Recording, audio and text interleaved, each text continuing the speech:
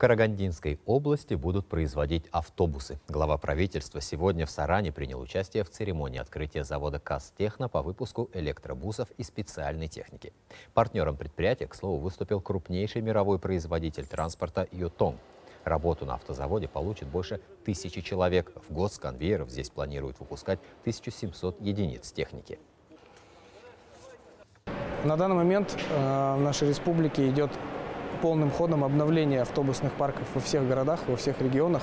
Поэтому наш завод позволит э, осуществить все задуманные планы и произвести современную технику для населения.